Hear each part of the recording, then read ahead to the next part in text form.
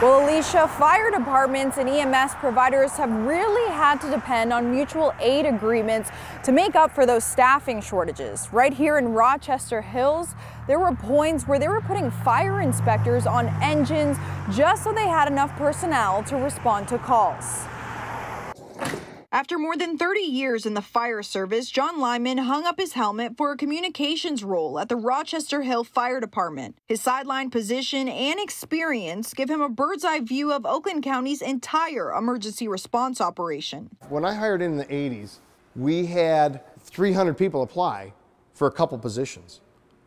Well, now we've got many positions open across the county here, and we're getting trickled in applications. Rochester Hills used to only hire firefighters who doubled as paramedics, but finding men and women with that kind of training is a huge challenge in 2021. We are hiring people as non paramedics, EMTs, and then sending them on to paramedic school uh, to get their, their training that way.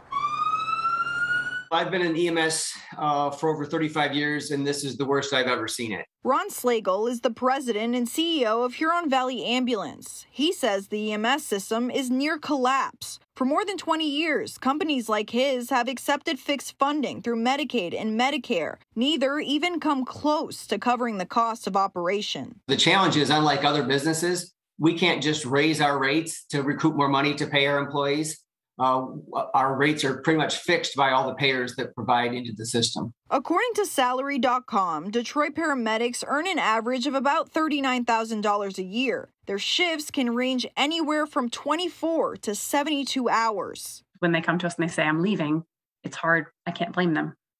You know, it's, it's, I can't. Dr. Christine Brent is the director of the University of Michigan's EMS Fellowship Program. She says over the course of the pandemic, paramedics have been forced to observe, quote, constant death, and many of them simply have hit a breaking point. Unless we do something to address this shortage, it's going to come to a point where when we call 911, no one's coming no one's coming for an hour and an hour is way too late for most of the stuff that we deal with. And when it comes to responding first every second counts. That can be a life and death you know affect here. Staffing affects response times it affects patient care it, is, it affects uh, firefighting Well, there is an increase in funding in this year's state budget to help uh, fund EMS providers and they say this is a start towards a more permanent solution.